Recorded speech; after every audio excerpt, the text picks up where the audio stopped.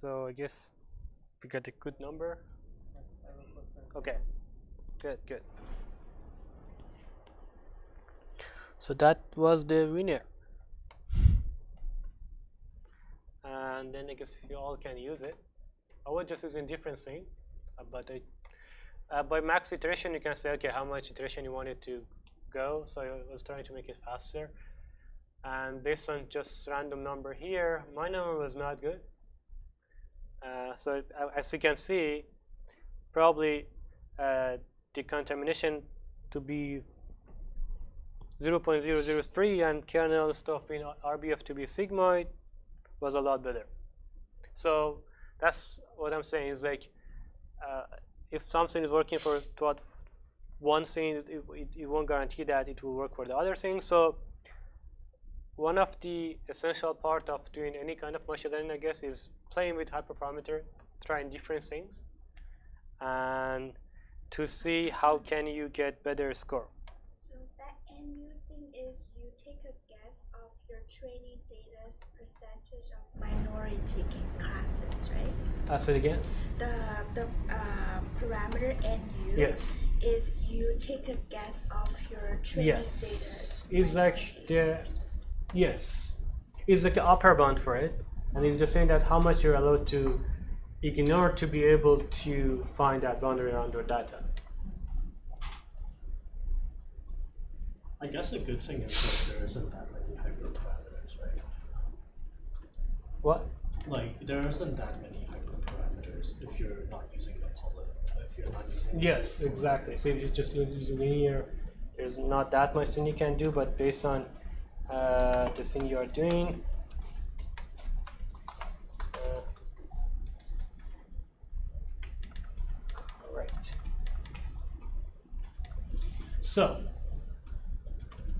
so the winner so far apparently was one SVM, and the score, the one that Nemo shared was okay based on just 20,000 sample and even the test was based on that so it was like a final score very good right because the the positive is almost a half but then there's so little false positives right in his result. Uh, so yeah so uh, as you can see here basically f1 score is a combination of precision and recall. Uh, for him precision was super good because he just said that uh, apparently if you I guess if you add them together we have less than 100 sample negative in 20,000 and he managed to kind of find half of them by just scoring 15 positive sample as negative which is a good thing. It means uh, the false positive one was super small.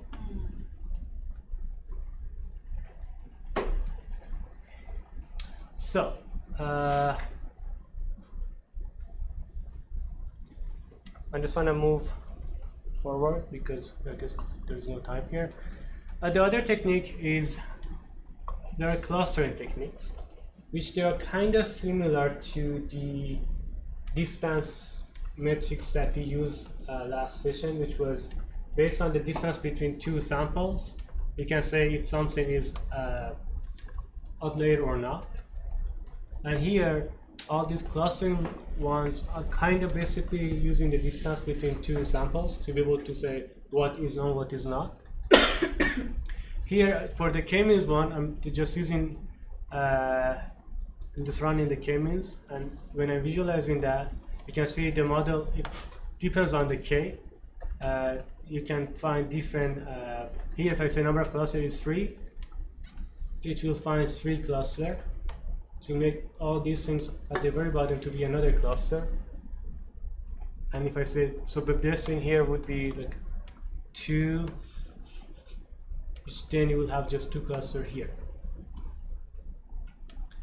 And so, okay, one of the things, as I said, is like one of the essential part in just training k-means would, would be what is the best k, which you can use maybe different technique, either there's like elbow, the, I don't know, or the, the, the, distance to the center, all those techniques. There are lots of techniques that you might explore to see what is maybe the best k for you in your data set. Once you have a model, uh, then based on the distance to the center, I just here here just manually say okay the square of the distance to the center is something. Then I, I find what is the average and I say what if anything is more than average, then maybe that should be anomaly, and that was the uh, score for me if I had like a three class. So in k-means, uh, the idea is you can make lots of cluster. Then you can find anomaly in two different ways. One of the way, one of them would be say what is the distance of each of each sample to the closest center, and then you can have a threshold to say that if that distance is more than something, then that no, that sample maybe uh, is not normal. Or you can say even if you have maybe more, if you, do, if you can't find the best k, you can say even if you find a cluster, but the size of the cluster is super small, then maybe all of them are like outlier. So that's how you can kind of find uh, any kind of uh, not normal or rare event or out of distribution saying just by using any kind of clustering techniques. Uh, something as easy as uh, k-means, you can use hierarchical clustering or you can use anything that you are comfortable with. But the other technique which was uh, which which is one of the cool way of doing that is dbscan, which is which is trying to uh, cluster the database on their density. So instead of just finding bunch of k and try to uh, to say that okay, I just want to find k cluster, you're just looking at the data and based on the neighborhood, you're saying okay, if, if the distance is less than something, then you are part of me, and then it, then it can find some connected cluster as well. So it means here, if I run k-means, here you can see it's super cool. It find all these two cluster. But if I look at two moon, see that is the thing that k-means will generate. Like it will split it to the half. I'm gonna say okay, that's the first one and that's the second one. It won't find the actual cluster in your data because the data is not a bunch of Gaussian thing. is is is like super complex pattern in your data. That's why k-means won't, won't work here. But let's see how dbscan will work actually. So dbscan is working well when you have like a two cluster because they will say they are connected to each other. But let's see how two moon is working.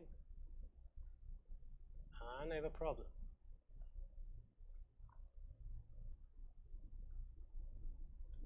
Do you uh, do you change it? The bottom one as well.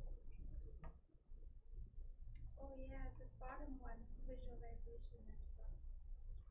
In the same side. There's two. What? Uh, oh.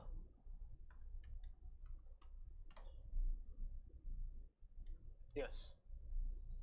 So here I didn't put, okay, maybe I can even make the cluster, but the, I don't, the color is not thing. But see, that's the cluster number one, that's the cluster number two. Even he just find something here as well. But then says these points are anomaly here as well. So it was it managed to find these things as a cluster. And if I even change the number of uh, minimum sample, it might even ignore that one as well. If I say minimum sample should be, let's say 10, run. See? Now all of these nodes are, are, are anomaly as well. So the thing is doing it like that. The whole idea of uh, dbscan is we'll try and try to let's say pick from some point and then it will say what is in my uh, it what is in my neighborhood based on some distance. The distance is a number that you're passing here, and then you're saying that the definition of cluster is if you have at least minimum of that point in your cluster. So it, it will say so then here it will make uh, two clus two cluster one, number one. Number two, and the rest will be uh, all those samples without any cluster. So it will be cluster. It will be one, two, and for all these would be would be minus one because it can't find any good cluster for them. We satisfy these two to be in, to that that will be the distance, and they make a cluster which the minimum size is at least 10.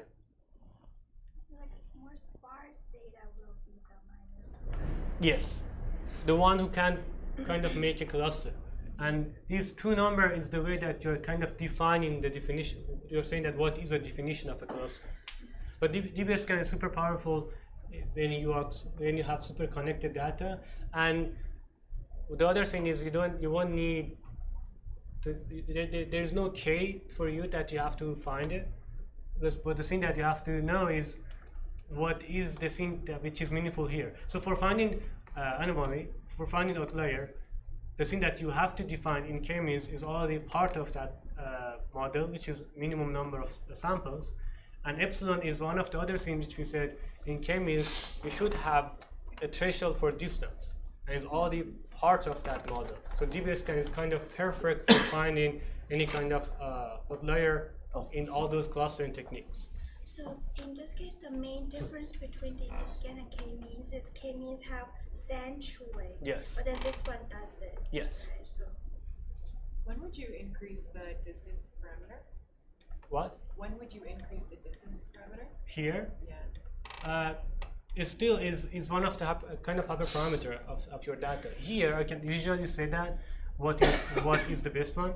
Let's say uh, usually you are normalizing your data, and then once you normalize that, you can say what is the maximum distance. Let's say if the data is just one dimensional, and if you normalize it, you know what the max distance is one, and then you can say, well, maybe maybe the the, the minimum distance that I want to make a cluster would be maybe 10% of it, then would be 0.1 or something like that. So you have to, is, are, this is one of the parameters that you have to play with, and that would be your threshold that you would say if a point is further from the rest of them, based on that definition, which would be the, the, the, the distance, then you're saying that that node is kind of is isolated. But that's the thing that you have to define it based on your data.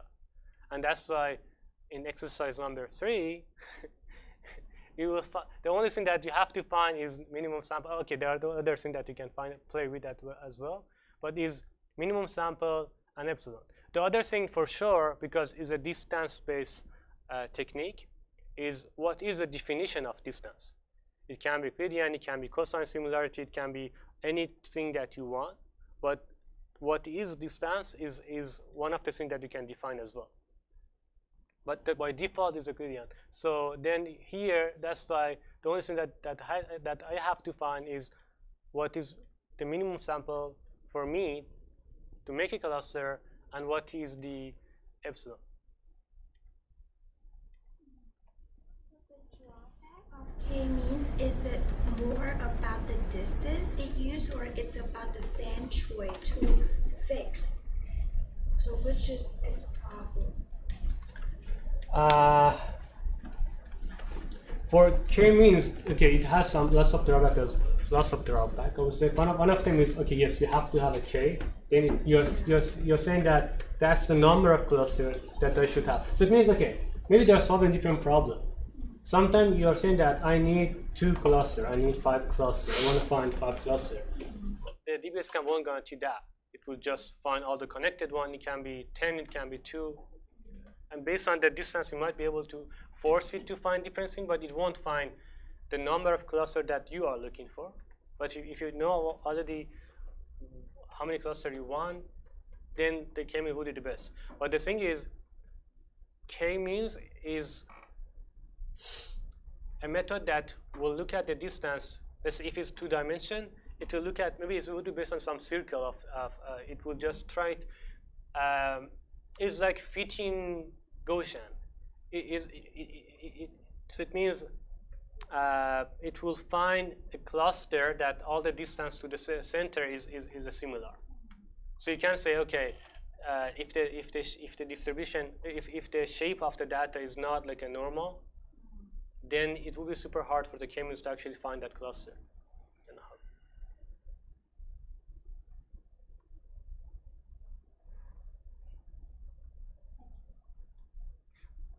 So yeah. Uh, and the funny thing is usually uh, in lots of machine learning techniques, the assumption is everything is Gaussian, and then you should be able to uh, feed the data with GMM, all those things. That's why maybe k-means is is one of the good things because it's based is satisfy the assumption of all the tech most of the technique in machine learning. But uh, if you have any super complex connected samples in your data, maybe DBSCAN is one of the best. And for sure, it will satisfy the thing that you're looking for, which means finding all those outliers. And I guess exercise number